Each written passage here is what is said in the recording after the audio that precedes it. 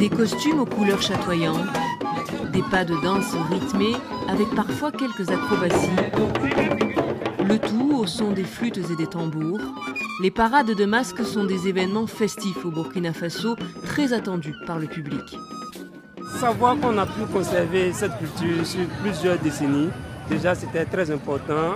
Voir la prestation des gens qui sont vraiment déterminés à conserver leur culture, à conserver leur savoir-faire.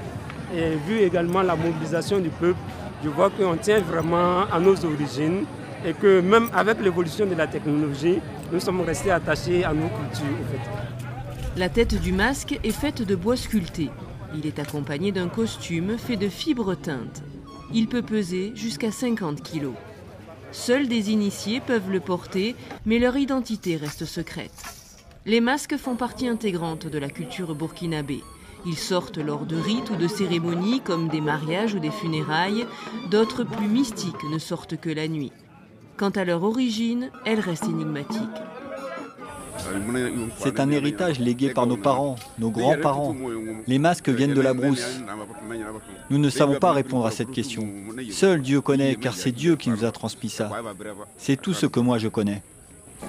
Qu'il représente un bœuf, un singe, un crocodile ou une antilope, chaque masque a une fonction et un message.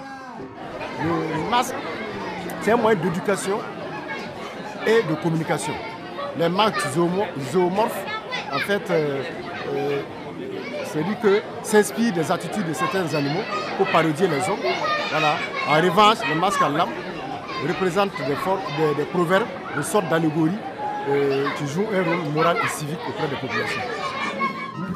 Le Festival des masques de Pougny a été le premier du genre à se créer en 1990.